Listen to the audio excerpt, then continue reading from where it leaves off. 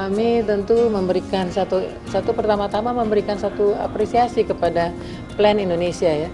Apalagi dengan adanya program uh, Because I'm a Girl Plan Indonesia dan uh, Nurul terpilih dari sekian banyak uh, yang diseleksi oleh Plan Indonesia.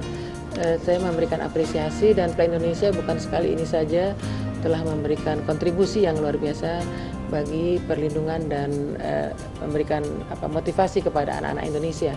Dan saya pikir eh, hal-hal uh, seperti ini kiranya dapat dilanjutkan dan kami pemerintah tentu memberikan penghargaan dan apresiasi.